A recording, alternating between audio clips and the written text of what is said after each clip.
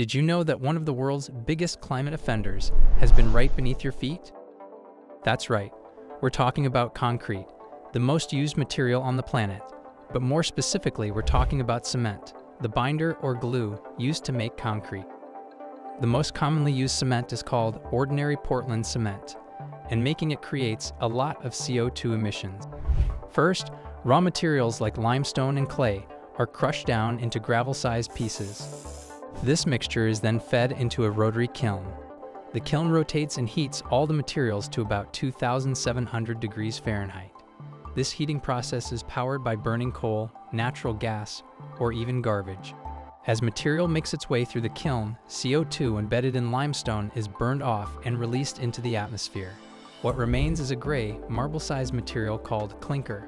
The cooled clinker and gypsum are ground together to make a fine powder. This powder is ordinary Portland cement, ready to be mixed with supplementary cementitious materials and then with water, sand, and gravel to make concrete.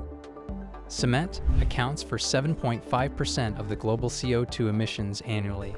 That means if cement was its own country, it would be the third largest CO2 emitter on the planet after China and the United States. That's why the company Brimstone has set out to make ordinary Portland cement better for the environment. Brimstone has developed a process that uses calcium silicate rocks that don't contain embedded CO2, unlike limestone. Brimstone's process also creates a magnesium-based waste product which naturally and quickly absorbs CO2. This would typically make the brimstone process net carbon negative regardless of the fuel source.